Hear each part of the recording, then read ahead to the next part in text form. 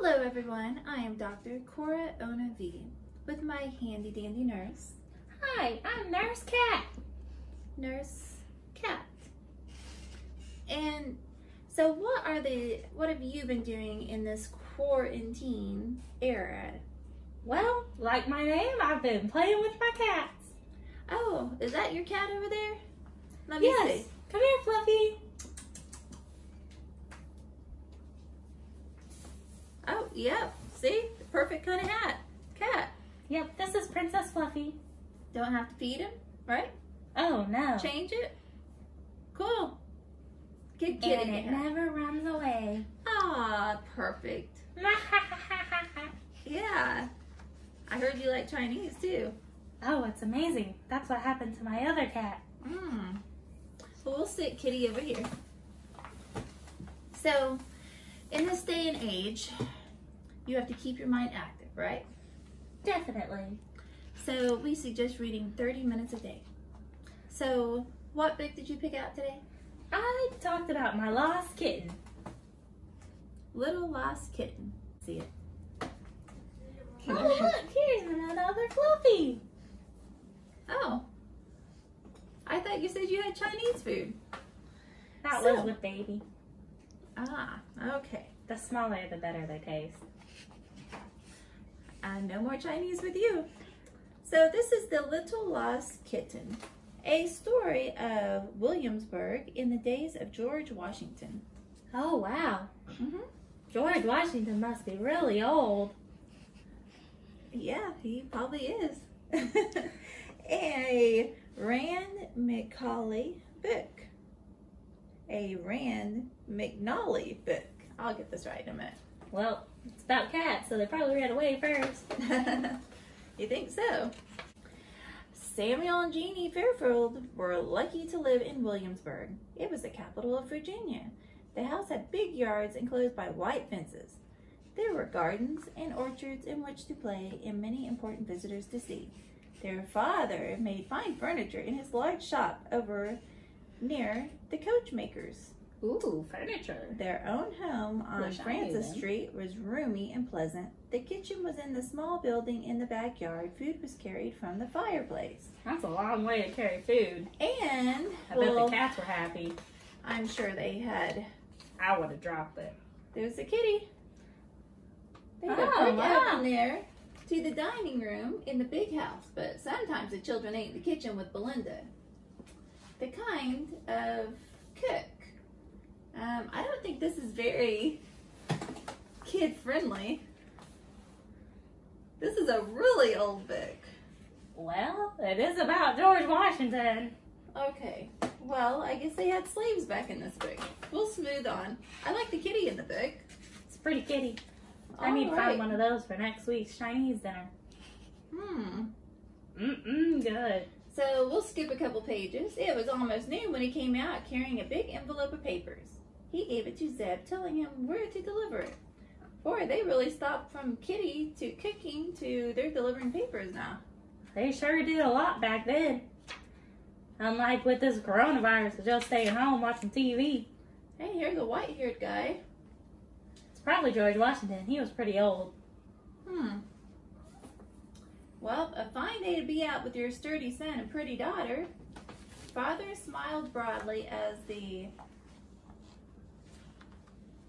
Apothecary, Apothecary, Apothecary.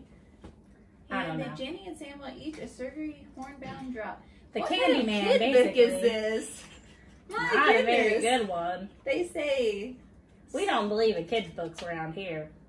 they say lots of and what's the word that we use? Um, Socially accepted.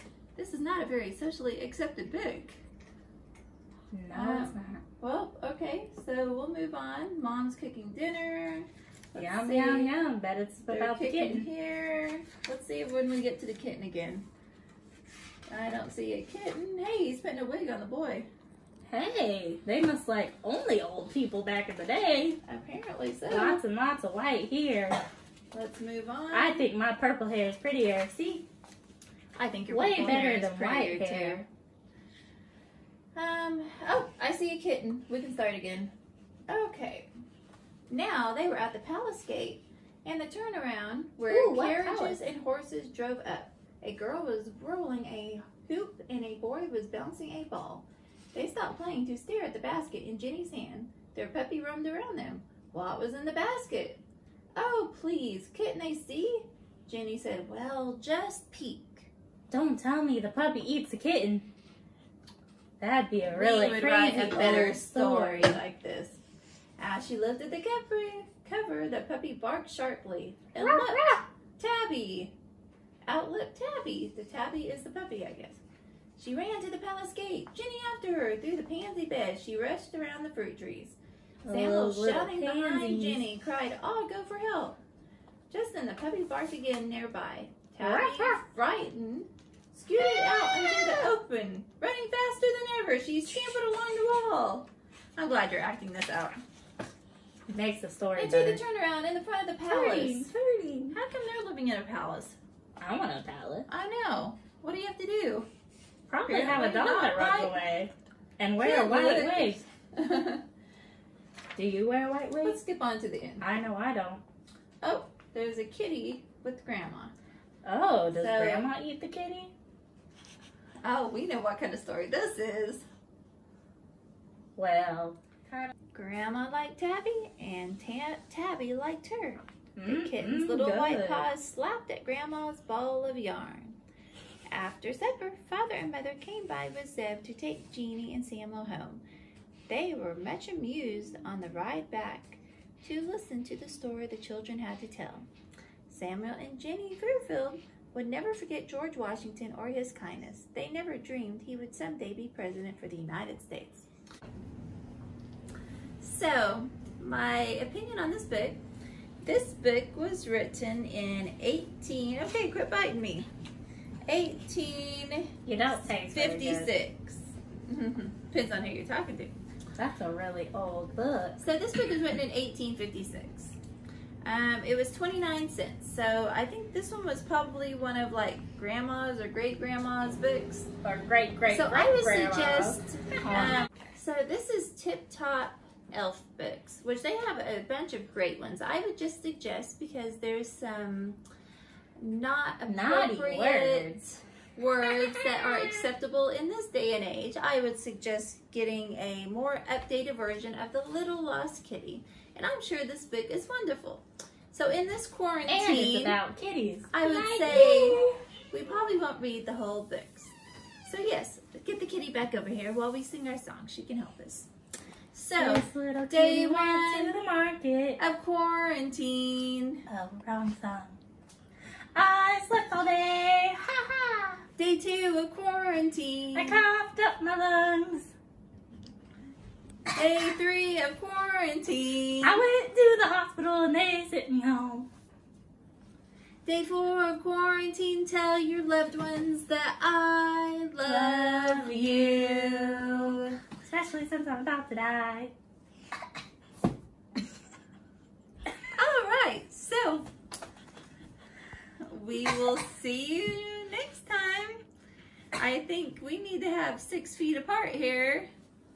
Um, all right, well, remember to read 30 minutes a day. Helps your sanity. So Definitely. You don't sleep and eat all day. I do, but it's okay. See you later.